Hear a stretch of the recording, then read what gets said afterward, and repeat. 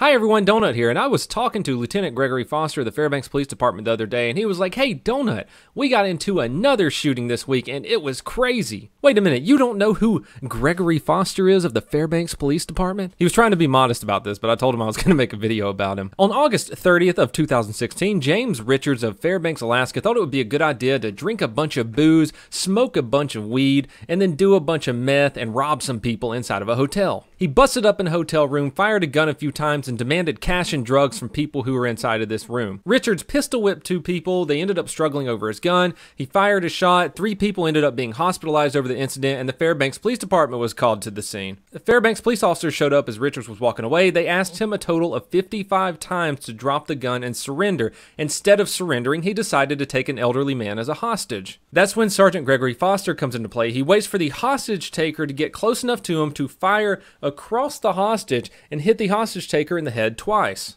Don't do it! Please put it down Please put it down! You guys may have seen this before. I made an entire video about this incident. I can link that in the comments below. It was an amazing shot. Actually, it was an amazing two shots. Both shots hit Richards right in the dome. The elderly hostage was okay, and the Fairbanks Police Department saved the day. Prospector outfitters walking north. Copy hostage in front of prospectors. uh, the prospector that he's advising he does have a hostage. Copy down, copy down. In between the incident last year and the incident that I just spoke with Gregory Foster about, he was promoted to lieutenant. Congratulations! The incident that we're about to talk about happened on June 19th of this year, and it was pretty nutty. A 21 year old man named Matthew Stover picked the wrong police department to try and have a gun battle with. When I first talked to Lieutenant Foster about this, he said that the guy was wearing North Hollywood shootout style body armor, and he wasn't wrong. This dude was covered from head to toe in armor. He had taped armor onto his legs, on his neck, on his arms, and he even had a ballistic face mask on. Along with his body armor, he was carrying an AR 15 that was fully loaded, he had four fully loaded magazines on his chest, and he had seven fully loaded magazines sitting in the passenger seat of his truck. He was also carrying a Glock 9mm with several magazines, so needless to say, he thought he was going to get into an epic firefight, but it didn't work out that way. Reports state that the Fairbanks police were first alerted to Stover because he had pointed a gun at somebody behind a Denny's. Officers ended up tracking him to an open area beside a jail, and because he decided to have a firefight beside a jail, we have some pretty good camera footage of the whole thing. Here is where Gregory Foster comes into play again. Officers had surrounded the white truck that the suspect was in, and Gregory Foster drove up behind him in his patrol car, talking on the loudspeaker to distract him. This is when Stover decides that it's his time to create a name for himself. He played GTA 5 enough times to know what was going to happen, so he jumps out of his car and takes off at a full sprint towards Gregory Foster while firing his rifle.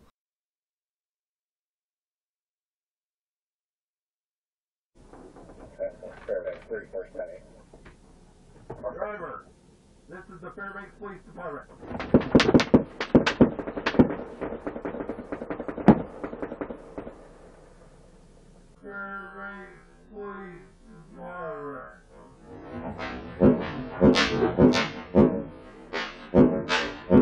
But he didn't go out in a blaze of glory. He took about five steps before the Fairbanks Police Department completely annihilated him. Fairbanks, 31st Penny. Driver, this is the Fairbanks Police Department.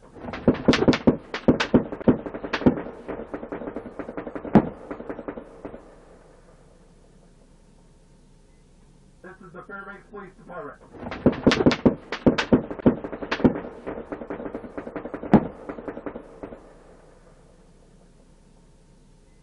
Looks like playing on that GTA 5 didn't pay off, and he's just an idiot. We were talking about this the other night in my chat. Someone made the comment like, hey, Gregory, you should have sent a rookie to go up and distract him. Gregory said, no, I'm not going to send someone to do something I wouldn't do. That's a leader right there, boys and girls. Gregory, I know you wanted to be modest about this, but hey, good job, dude. Good job. This was awesome. Everyone, this is Donut, and please have a fantastic weekend.